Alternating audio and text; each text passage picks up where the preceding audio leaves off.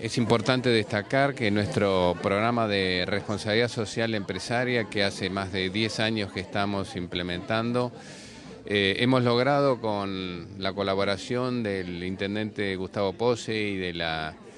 Consejo Deliberante y de sus eh, cuerpos eh, directivos, lograr hacer una tarea de talleres con jóvenes en el distrito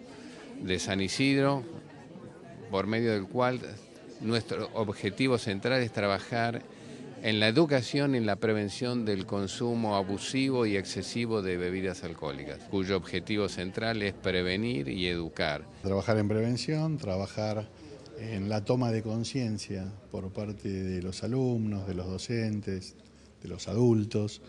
eh, en la importancia de que la libertad que tenemos para consumir alcohol siempre sea en forma responsable, sabiendo que si consumimos niveles eh, más allá de lo tolerable por el cuerpo, nos coloca en situación de riesgo no solamente a nosotros, sino también a terceros. Fundamentalmente cuando uno maneja, fundamentalmente cuando uno quizás no, no tiene la lucidez necesaria para poder manejar sus actos,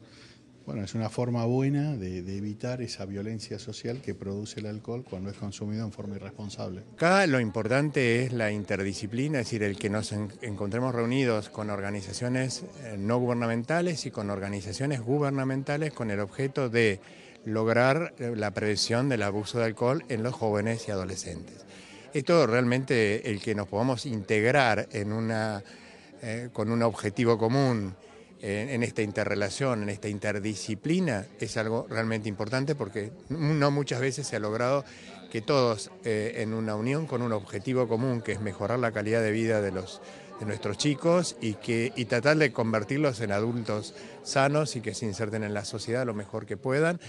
y que podamos trabajar en conjunto sobre este tema que es el abuso de alcohol para lograr esta, esta estos objetivos importantes y ayudar a los chicos a tener un mejor nivel de vida, que comprendan, a que puedan actuar a través de talleres de sensibilización en la materia de construcción ciudadana que lo tienen las escuelas secundarias. Van a intervenir escuelas de la, del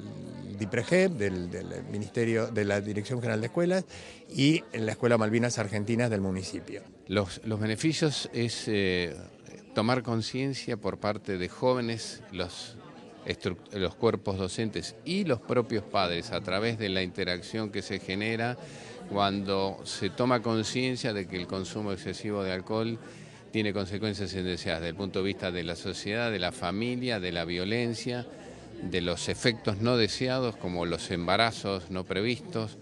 en fin. Nos parece que eh, el tema central es que esto genera una dinámica de acercamiento entre docentes, padres y jóvenes respecto de la toma de conciencia del consumo muy moderado de bebidas alcohólicas.